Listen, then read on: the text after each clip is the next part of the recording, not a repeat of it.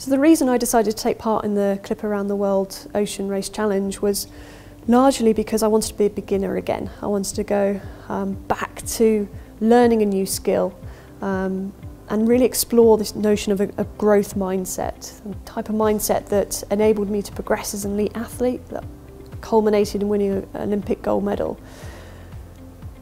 But to, to be in a situation where essentially I was also surrounded by um, novices.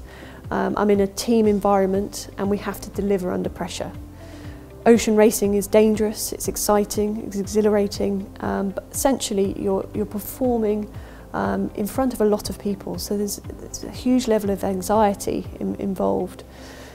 And what I learned actually, and what was, was really evident, was I was incredibly nervous, I was anxious, um, but essentially I still stepped forward and delivered um, my role. And sometimes I failed, lots of times I failed at the start. And um, what was really vital was to actually to seek feedback, to not hide from those mistakes um, and then to, to try again, um, to keep practicing um, and to keep trying to, um, to deliver for the, for the team around me. For the individuals who really struggled to progress, um, you would see things like uh, there was a task where someone had to step forward, uh, tie a specific knot that had to be undone in a couple of hours' time. They would get to the, to the position where they had to execute that skill. They then didn't know which knot to tie, but they would just tie anything. Rather than asking for help, um, they would just try and kind of hide from the, the responsibility, if you like. Tied the knot, came back, um, and hours later, someone's having to untie that knot.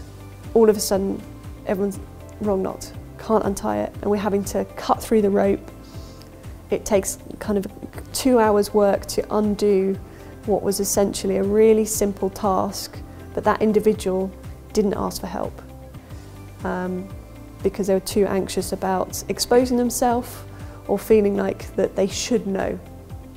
Whereas in actual fact, in that learning environment where we're all trying to, trying to progress our, our knowledge and our skill base, absolutely essential um, that you seek clarification, you are able to ask for help, there's nothing wrong with that, get feedback um, and, and and keep practicing and putting yourself forward and exposing yourself.